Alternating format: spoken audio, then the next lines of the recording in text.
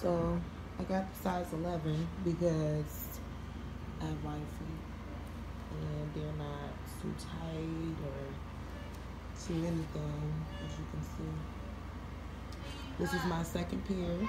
I have a pink pair as well. I bought like mm, last year around my birthday. So yes, I love them.